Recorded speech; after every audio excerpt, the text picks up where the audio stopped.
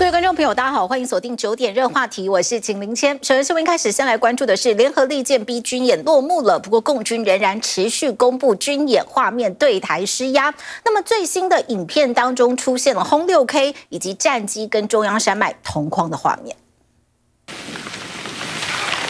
共军联合利剑 B 围台军演完成后，还是持续释出演习画面。大陆自主研发的中远程轰炸机轰六 K 起飞升空，朝台湾本岛北部、南部、东部前进。我和战友的核心任务是突破敌防空警戒系统，夺取区域治权。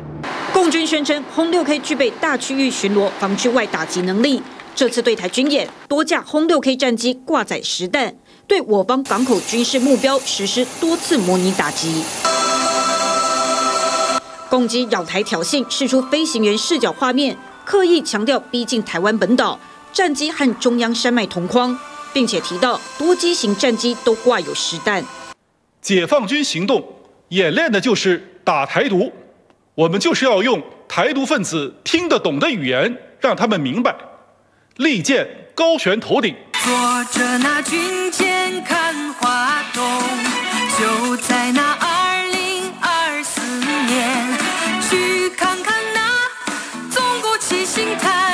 除了五鹤，还持续文工 MV 用动画形式呈现，画出花莲台东一带，搭配男女歌声唱，坐着军舰看花东。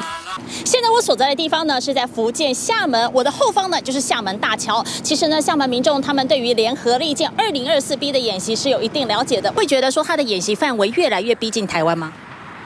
反正自己家里面想怎么造就怎么造呗。啊，挺好的吗？这正常吗？隔三差五来一次就完事儿了呗。作为距离台湾相对比较近的大陆城市厦门，居民长期对台海局势都更关注。对于共军持续施压，国军强调将持续常态戒备，依据敌情决定应变的层级跟手段。TVBS 新闻谢谢新陈相如采访报道。就在昨天，解放军展开围台军演的同时，东部战区直接划出六大演习范围，其中多处踩进了我临街区。不过，对比今天国防部公布的共军轨迹图，似乎有不少差距，因为我军并没有公布大陆的海警船活动范围。解放军行动演练的就是打台独，我们就是要用台独分子听得懂的语言，让他们明白，利剑高悬头顶。才刚开始就结束十三小时的利剑演习，中共定调为打台独，而国防部也丝毫没让步。空中守备大队演练刺针飞弹接战程序，机动雷达车也火速进入阵地。从十号上午五点到下午六点，共侦获一百五三架次攻击与十四艘共舰，外加十二艘。公务船这一次要特别把这雄风飞弹把它升起来，或者就是放一些反舰飞弹的照片，也是会去提醒他的，就是去告诉他不要太过靠近。要严密监控共军一举一动，平龙瑞元无人机也紧急升空，首度参与利剑演习的辽宁舰则被日本海上自卫队发现，出没在冲绳县四百六十公里外的海域。只是摊开解放军东部战区十四号公布的六个演习区域，包括海警船的活动范围，多处压进我临界区或建制水域。对比十五号我国防部公布的共军演习范围，不仅没把海警船的航机纳进去，对方也没有踩进限制水域。出没地点其实跟他公布的有。有所这个差异哦，那可能是第一个，当然是中共，他不会揭露所有的情资。那第二个就是国军的呃这个反制哦，让中共的这个机械呃无法是按照他预定的计划。这次演习可以界定成是一个战略心理战。我方选择性只公布攻击活动空域，对岸则希望放大以达威慑目的，各取所需。TVB 宣传程序员会台报道。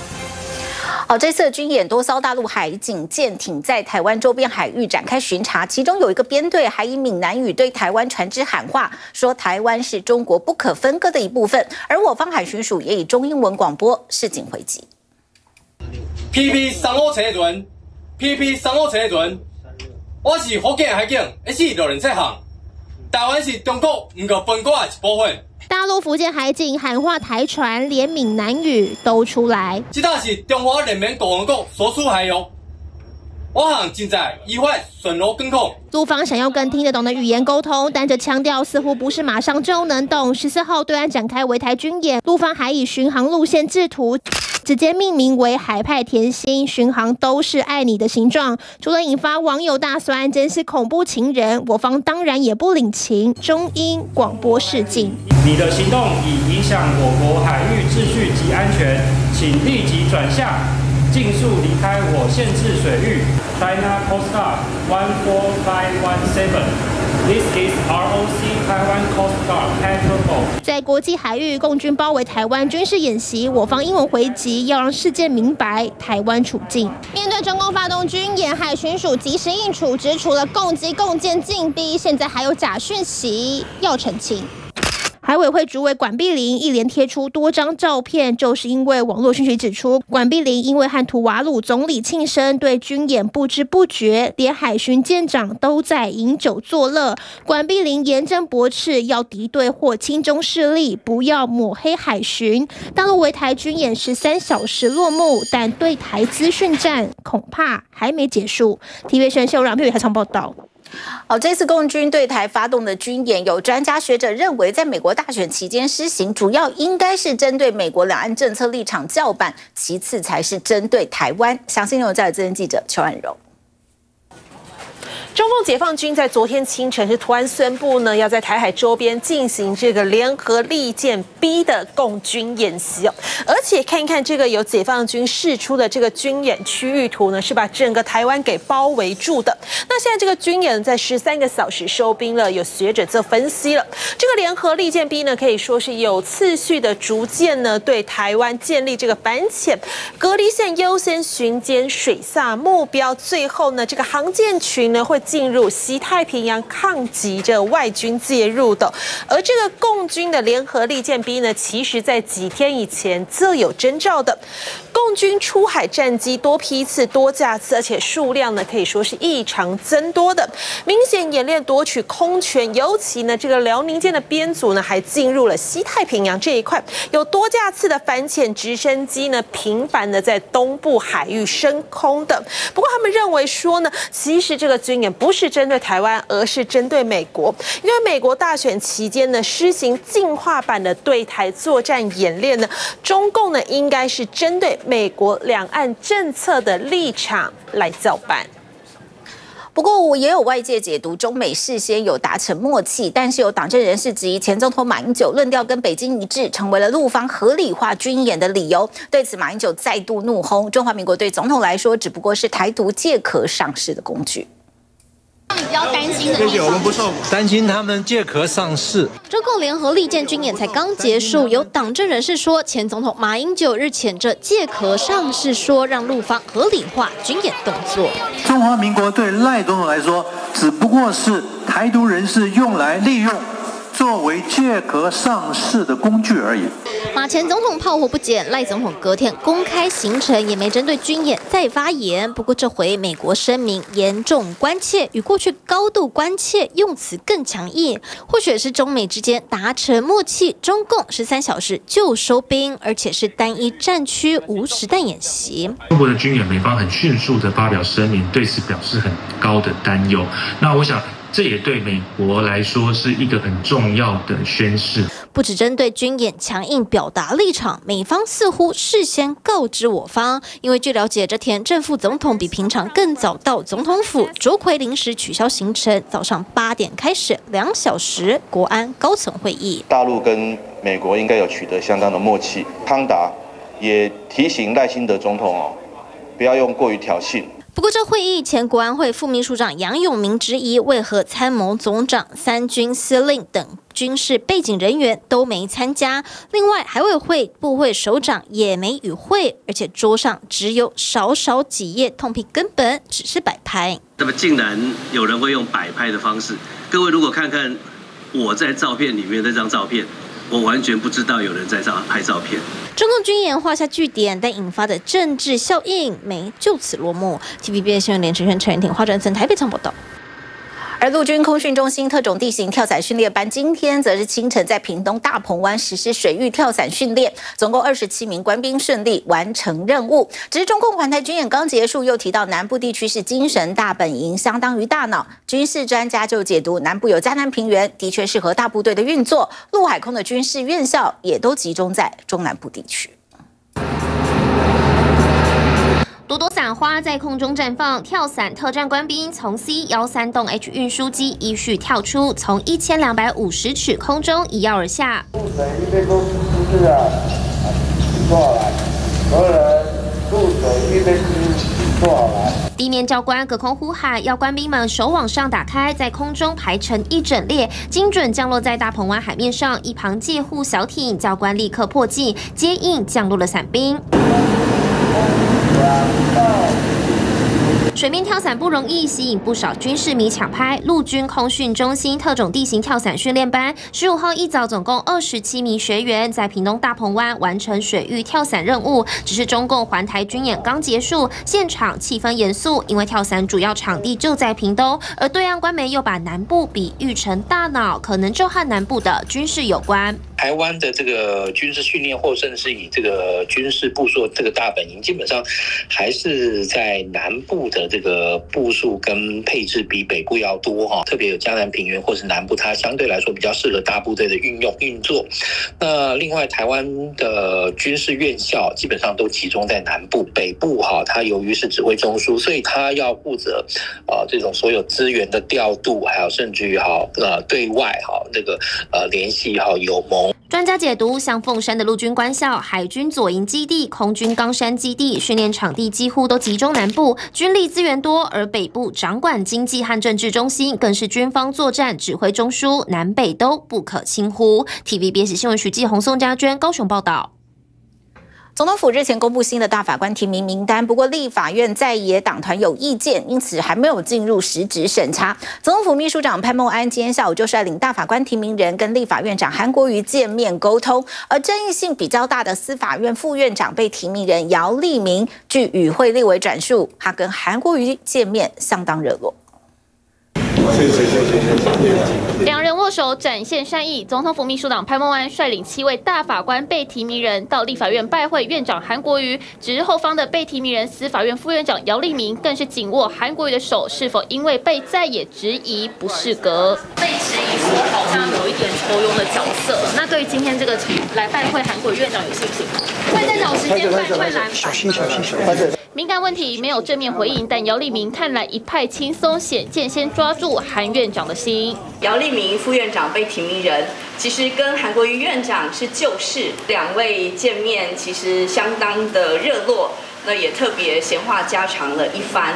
不止两人聊得很热络，双方会面十分钟，速战速决。韩院长刚刚啊很热情的接待，我们也特别谢谢他哈。那相谈甚欢，韩院长也允诺。会尽快将大法官的人事案啊，包括行政院所提的这个 NCC 呢，都能够啊尽速排入议程。大法官人事案卡关，把球丢给韩国瑜来协商。只是照惯例，除了拜会院长，被提名人也该拜会各党团。尤其这一次名单争议性满满，每一位被提名人都是学富五车。未来在这个呃院长组朝野协商之后，我们也会。择期来拜会其他党团。潘孟安看来很有信心，但意思是等有协商结果，这些大法官才要来拜会吗？在九月，民众党团就曾出考题要大法官回应，也说要等到立院审查定案再答复。在野党的啊立委，大家一定会提出很多的一个质疑。那最后在行使同意权的时候，也会严格的来做出审查。口中念出的审查标准，跟这七位大法官人选同意权行使能否过关，答案呼之欲出。TVB 新闻崔仲群、苏凯、陈年轩 S 小组台北场报道。好，另外明年度的中央政府总预算案持续卡关，是不是要让总预算案在周五个在院会一读复委，就要看朝野协商结果而定了。再把时间交给婉柔。